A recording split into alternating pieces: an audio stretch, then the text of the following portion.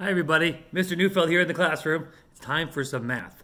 Now, on Thursdays, what we do is we typically do textbook Thursdays, what I call it, where we get out our textbooks. Everyone should have their JUMP Math textbook, and this is perfect for times like this, okay? Because everything's in here, and there's lots of variety of stuff to do. And you'll notice that Mr. Neufeld has been cutting the corners of the pages, and so you can go right to the last page we worked on, and there you go. Okay. The important thing is to make sure you read the instructions. Okay. They're they're very simple instructions, but they change in each page. Okay. Sometimes the kids like to just go ahead thinking they know and they haven't. They don't know. They haven't read the instructions. Okay. So make sure you read that.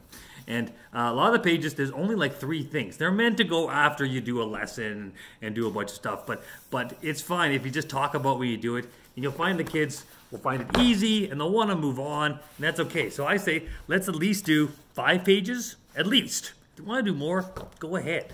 Okay? If you want to do five pages a day, that's what I've been doing with my daughter, that's fine as well. Because uh, it goes through a variety of stuff. He'll go through shapes and stuff. If you have any questions, just send me an email and uh, I'll try and help you. Okay? So that's math for Thursday.